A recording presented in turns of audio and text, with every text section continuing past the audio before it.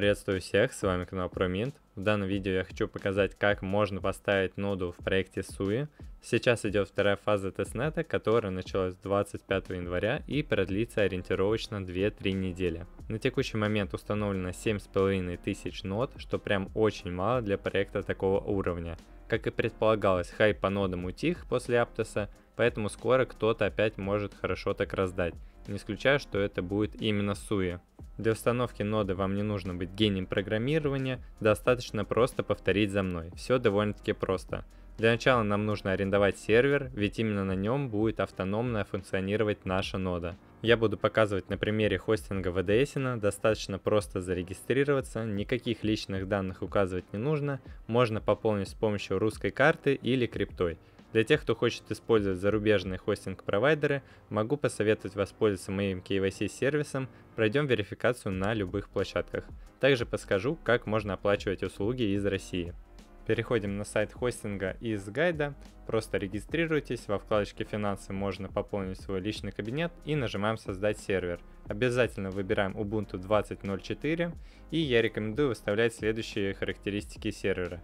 Это 10 ядер процессор, 16 ГБ оперативная память и хранилище возьмите побольше, где-то 800 гигабайт. В геолокацию я поставил Амстердам и автоматическую резервную копию советую убрать, чтобы у вас не списывались лишние деньги. Установка сервера займет 2-3 минуты. Кликаем по нему и для входа нам потребуется IP-адрес и также пароль. Можно будет воспользоваться приложением MobExtern, оно бесплатно и довольно-таки распространенно. Копируем адрес нашего сервера, нажимаем New Session, SSH подключение, вставляем IP-шник и пишем пользователь root, он у всех одинаковый. И дальше просто копируем наш пароль, вставляем правой кнопочкой мыши, пароль в Linux не отображается, просто нажимаем Enter и мы вошли на сервер. Но также я покажу, как можно подключиться с помощью обычной командной строки, которая есть у каждого в Windows. Пишем ssh root собака и после собаки пишем IP нашего сервера. Нажимаем Enter. Если у вас высветилась такая ошибка, пишем ssh-kagan, пробел, заглавная R и адрес нашего сервера. Дальше повторяем опять команду для входа, пишем с клавиатуры Yes и вводим также пароль он в Linux не отображается. Если вы видите Welcome to Ubuntu, вы вошли на сервер. После того, как вы вошли на сервер, перейдем к установке. Просто копируем команды по очереди и вставляем их в терминал обязательно правой кнопкой. Не используйте сочетание кнопок Ctrl-V. Ноду установим в отдельное окно, чтобы оно всегда у нас функционировало. И также мы будем использовать скрипт от NodesGuru. Копируем просто эту большую команду, вставляем и дожидаемся. Установка займет примерно 15 минут. Если вы видите такую надпись, значит нода у вас успешно установилась. Дальше нам нужно взять IP нашего сервера и перейти в checker, который находится в гайде. Обязательно выставляем testnet, вставляем IP нашего сервера, порт можете не трогать и нажимаем чек. Видим, что у нас показывает подключение к ноде, но все показатели на нуле. Сейчас мы будем это исправлять. Возвращаемся в гайд, просто копируем вот этот скриптик.